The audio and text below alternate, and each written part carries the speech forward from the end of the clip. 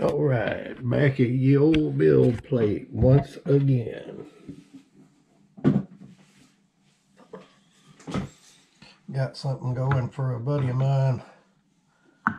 Wanted to, uh, wanted me to do something for his daughter so that he could make a little table side night light out of it. And it's the castle from Frozen.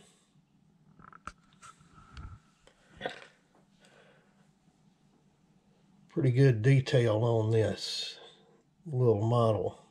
And there's a little little hole right back here where you can feed a little LED light in there. And I think the front door is even open right there. And, and uh, yep, let's clean it up and then we can get a better look at it.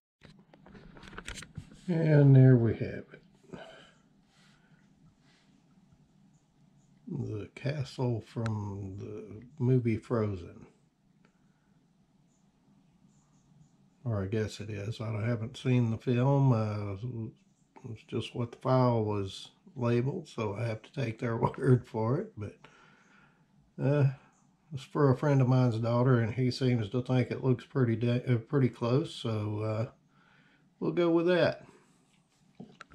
All right, like and subscribe. See you on the next one.